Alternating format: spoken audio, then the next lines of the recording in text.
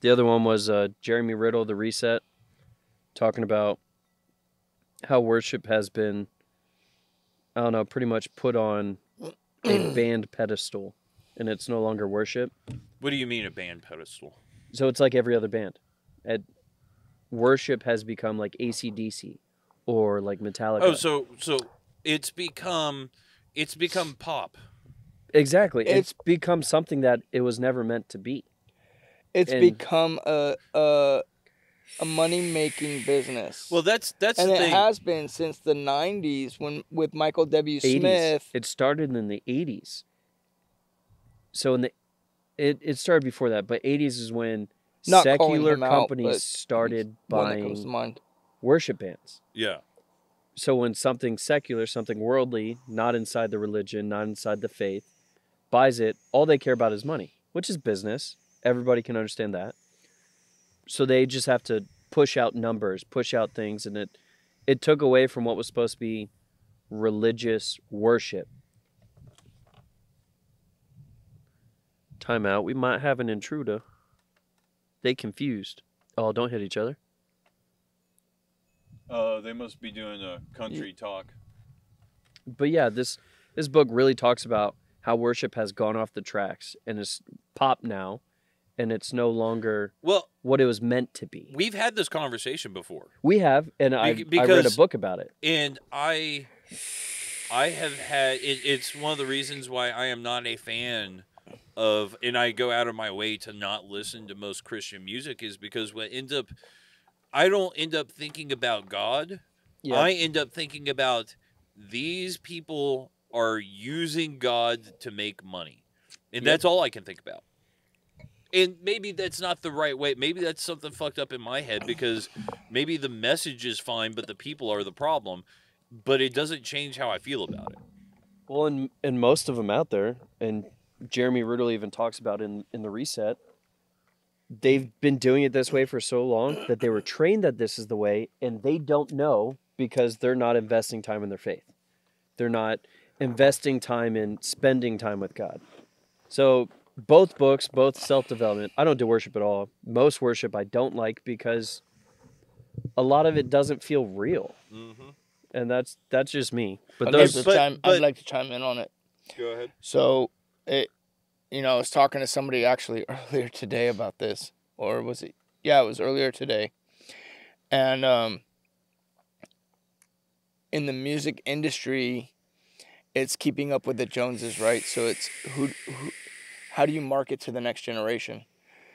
And and you're looking at millennials and and Gen, Gen Z. Zers, right? Right now, and even alphas that are well, coming I'm up. millennial. Yeah, well, you're not marketing to millennials anymore because I mean, you know what millennials like to listen to, um, and and you just keep making records. I mean, Metallica is is the first thrasher type music to actually go mainstream from the '80s, and they're still playing and making records, right? They have good. They had made good business sense and changed the way they make music or the the They- they- sound of the music to accommodate listening ears, right? For one album. for one Right. album. And and then you take uh is not uh what's her name? She was country now she's pop. Taylor Swift. Taylor Swift. 90% of who buys her albums are women.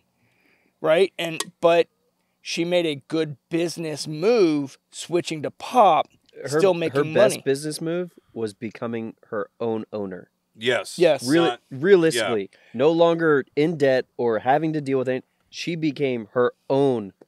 Not not letting Right. her parents drive her career. Yep. Which and I I get why she has a hard time with her relationship with you know the faith. But I, and- I still give her props and her parents props because they may have. She was good. She was Yeah. really good, Mhm. and they put her foot in the door.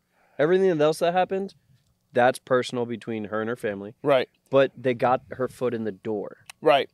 But to get back on the topic of the worship, millennials and Gen Zers right now are wanting to listen to to rap and hip hop, which is mostly just babble. It's Well, just which is now blip, just blip, blip, pop. blip. Well, yeah, you know, hip hop is no longer unless you hit the non-mainstream artists, which they're, they're still out there. I listen to. I mean, there's few. a lot of Christian, good Christian rap that's out there, like Thi'sl or Lecrae or you know whatever. But um, The worship I like it, it's Actually- it's all about hits you hard. Like Mm-hmm. it actually, Yeah. you can tell it's soldier. Like there's Pastor Mike Jr. like during his songs, he actually prophesies. He says this will happen. Well, that's why, like a lot of the the old school bluegrass is what I really get down on because when they're talking about God, I truly feel like When they're, talking, about, about anything, though, it's not just God. They're talking about their struggle. Yes, And when they do bring God into it, you're like, I feel you right now. Like I'm mm. and I'm and I'm there. I'm invested now. It's not just, oh, yeet yeet, trunk something, right. gat shoot, drugs. Like it just Or if we're gonna take it to the country, oh, I'm I drive my tractor and I got my dog beer, dog, girlfriend, truck, train. Church. train, whiskey, And it's like this man Speaking has of which, jerky. jerky. this man has never seen a tractor. I saw one earlier today driving on my street, and I was like, "What the hell are you doing?" on my street? I mean, in the middle of the city. there is a business model that needs to go into everything to make it profitable. There is. Now, the level of what you go into business model could potentially negate what you're doing. Like, look, we're going to stay real. This is what we're going to do. We're going to be real, period. You don't like it? Don't sponsor us. Don't invest in us. Don't and that's that's where some people go. And some Right. of them make it big, some don't. yeah. Then the others are go so far business that I no longer have a backbone because I'm so invested in money versus what we started this as. Mhm. But that was that was my book talks on my sides because Jeremy Riddle, the reset was really good and it definitely gave me perspective. Same with Wisdom of the Bullfrog. Both leadership and then worship wise, it gave me a different understanding. Go. So now I can pick out what's the good and the bad for me, at least.